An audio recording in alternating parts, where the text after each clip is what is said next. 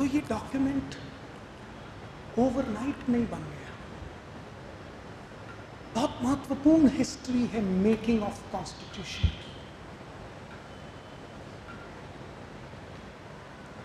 बहुत सारे लोग क्रिटिसाइज करते हैं कि, अरे सत्तर पचहत्तर साल में हमने सौ से ज़्यादा अमेंडमेंट कर लिए because till now there are almost hundred and five amendments to the constitution of India तो ये कैसा डॉक्यूमेंट है जो इतनी बार बदलना पड़ रहा है So those who criticize for them, I have an answer because this is the beauty of our constitution.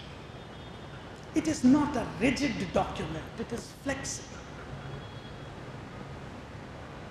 In our life also, we have to change our styles according to the need. आजकल तो parents बच्चों के हिसाब से अपना nature बदलते हैं। कि चलो जो बच्चों को अच्छा लग रहा वैसा। तो रिजिडिटी कई बार काम नहीं यूएस का कॉन्स्टिट्यूशन 240 साल में 24 बार भी नहीं बदला, उसकी लोग तारीफ़ करते हैं, पर मुझे लगता है वो रिजिड है, हम फ्लेक्सिबल है। Change and ready to be changed is a biggest feature जो वक्त के साथ बदलना जानते वो सरवाइव करते हैं। जो रिजिड है, वो आउटडेटेड हो जाते हैं। Therefore it is not something to be criticise it is a feature of our constitution of India that according to the needs we kept on changing the constitution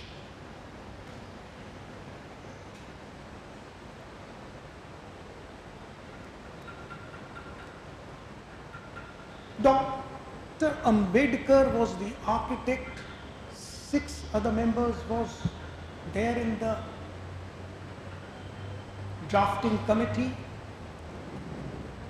But the wonderful thing is, that it was Jawaharlal Nehru who presented a resolution document to this drafting committee, which later, with slight modifications, became your preamble That resolution draft submitted by Jawaharlal Nehru, who was not even part of the drafting committee, became your preamble. And the best part is the preamble was drafted at the end of the constitution. When everything was ready, lastly preamble was added.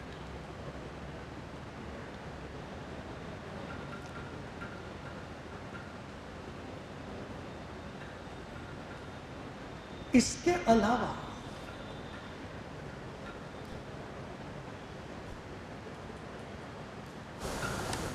बहुत सारे ऐसे काम हुए उस दो साल, ग्यारह महीने, अठारह दिन में, जिनको अगर आप गौर करें तो अपने आप में वो एक सेपरेट लेक्चर सीरीज़ का मटेरियल है।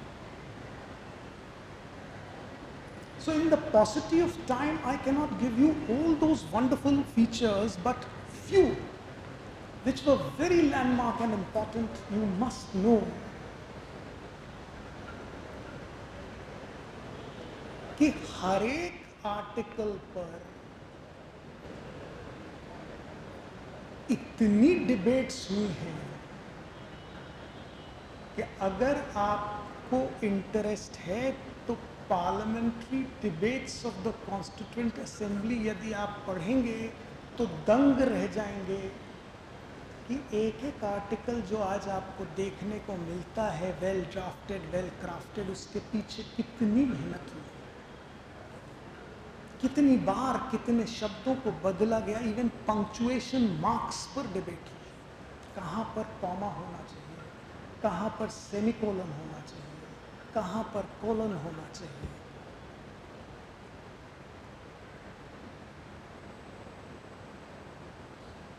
ये अपने आप में बड़ा कमाल का पूरा एपिसोड है। कई बार तो जब आप उसको पढ़ेंगे तो आपको लगेगा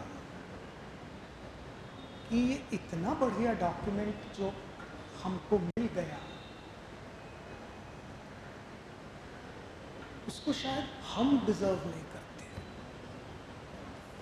इसलिए हम अराजकता फैला देते हैं हर चीज़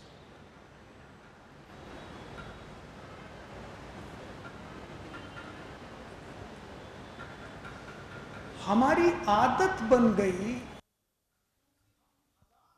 तक गुलामी के बाद इतने खूबसूरत डॉक्यूमेंट के साथ स्वतंत्र हो गए। कि हज़ार साल तक हम सिर्फ़ लाइबिलिटी ही देख रहे थे, उत्तरदायित्व देख रहे थे। राजा ने ये बोल दिया तो बादशाह ने वो बोल दिया तो अंग्रेज़ों ने वो बोल दिया। बस हम किए जा रहे थे। फिर अचानक से हमको इतनी स्वतंत्रता मिल गई कि हम बस एक ही नारा लगाने लगे साडा हक ऐथे रख।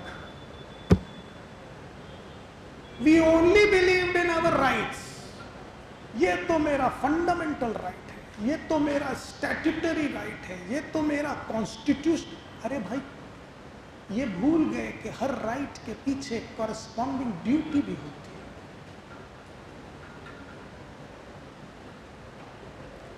आपने अपने इतने बड़े जीवन में एक भी ऐसा आंदोलन या जुलूस देखा है जो कहता हो अरे, ये तो मेरी ड्यूटी है, ये तो मैं परफॉर्म करके रहूँगा। ऐसा कुछ देखा है आपने?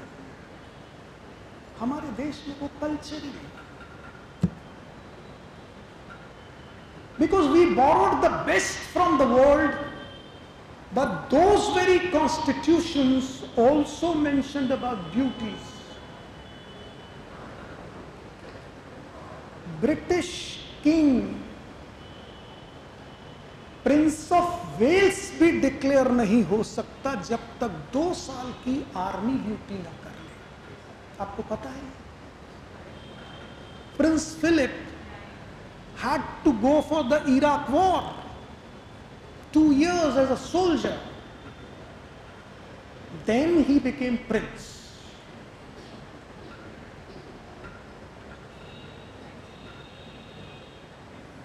national duty एक कंपल्शन